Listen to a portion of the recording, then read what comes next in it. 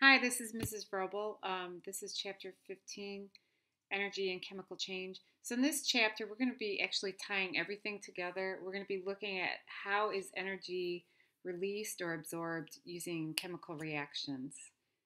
Now, in order to understand that, we're going to look at the following objectives. Um, first, you're going to make sure that you understand what is energy and the types of energy, which are kinetic and potential. Then you're going to determine whether potential energy is lost or gained in a chemical reaction.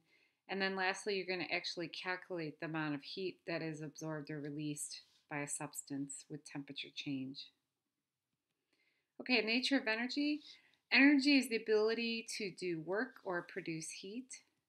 Um, there's two classifications. You've probably heard this before in some of your middle school classes, kinetic and potential. kinetic energy is the energy of motion. So anything that is moving is considered kinetic, whereas potential energy is stored energy. So when I raise an object, obviously I'm storing potential energy. The moment I drop it, I'm releasing it and turning it into kinetic energy. Okay, we have in chemistry what we call compositional potential energy. And what that means is it depends on the chemical bonds within a compound. So in a chemical reaction, you can either store energy or release energy.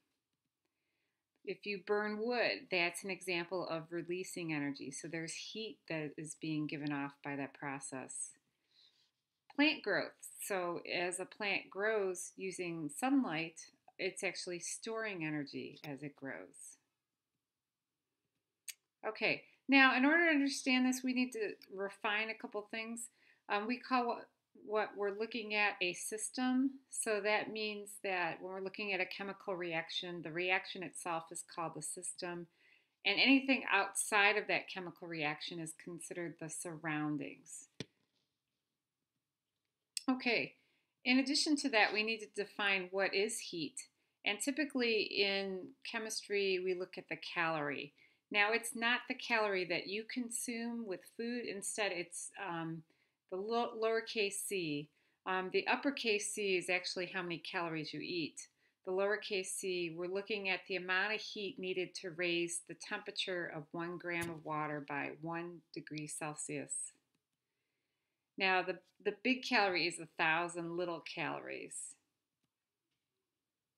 Energy. So SI unit of energy, we typically use the French term joule, and you've heard this before. One calorie is 4.184 joules. I will give you that. Um, if you were to convert 65 calories to joules, how much would that be? Um, another possibility is how many calories is 457 joules? So um, do that on your own, and I want you to bring that to class. Okay, here are some conversions.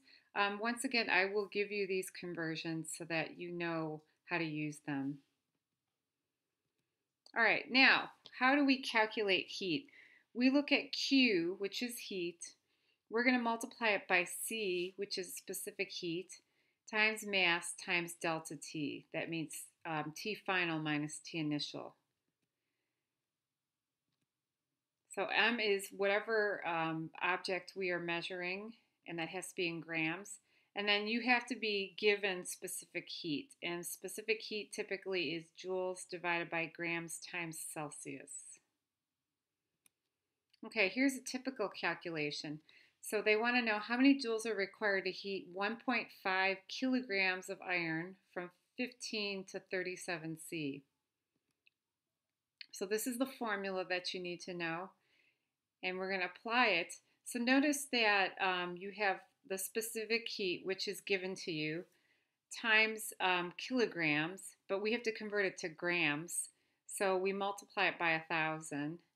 And then lastly, T final, which is 37 degrees minus 15, gives us 22 Celsius. When you multiply all three together, you get 15,000 joules. Okay, so let's summarize. Energy is the capacity to do work or to produce heat.